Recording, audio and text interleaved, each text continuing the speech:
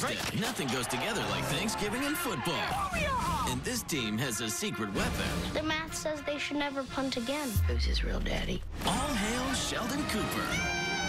The cheerleader hugged me to her bosom. That's amazing. No more high fives. I can't keep washing my hands. New Young Sheldon, Thanksgiving Thursday.